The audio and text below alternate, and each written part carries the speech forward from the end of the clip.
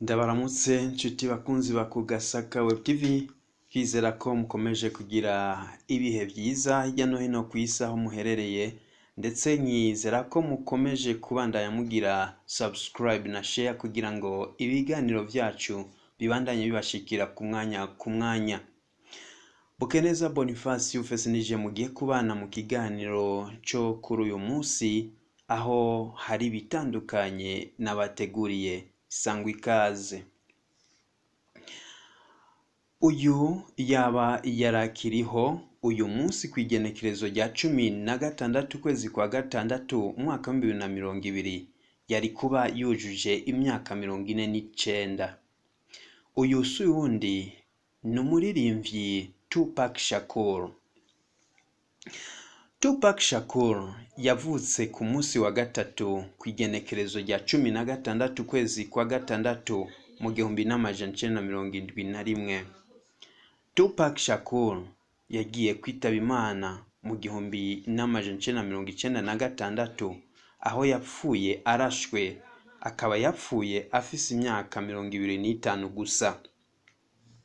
Tupac Shakur yamenyekanye cyane kubera umudiho wa rap ndetse indirimbo ziwe zikaba zarakunzwe cyane kurushaho inyuma yahapfiriye Tupac Shakur yapfuye haheze amezi make cyane atandukanye n'umugore bari barubakanye mu gihumbi n'amajana na mirongo icenda na gatanu. Yari asigaye abana na Kidada Jones umukobwa w'umuririmbyikazi Quincy Jones.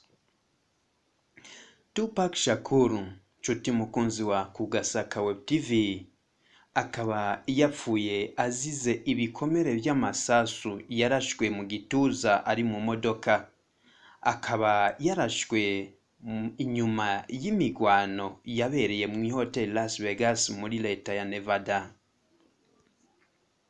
Tupac Shakur bivugwa ko atadini n'imwe yari arimwo. Bikavugwa ariko ko yemera imana kubera indirimbo ziwe nka ghetto gospel na only god can judge me.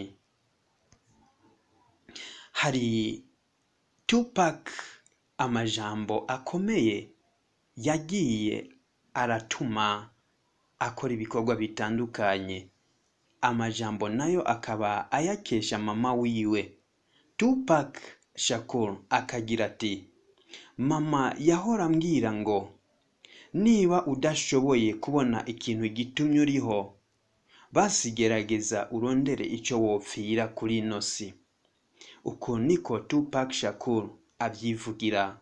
Iri ni ijambo yahawe na mama wiwe. Mu kirundi bati igiti kigororwa kikiri gito. Kandi ngo utwo uzokota mu busaza udusenya ukiri muto.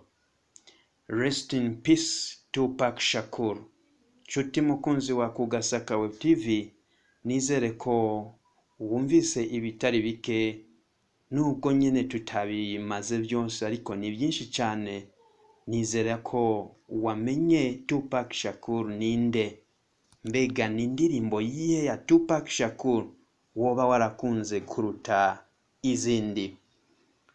nshuti mukunzi wa kugasaka web tv reka ngire ko ndagusezera ariko ubandanye kugira subscribe na share kugira ngo ibiganiro byacu bibandanye bigushikira ku mwanya ku mwanya.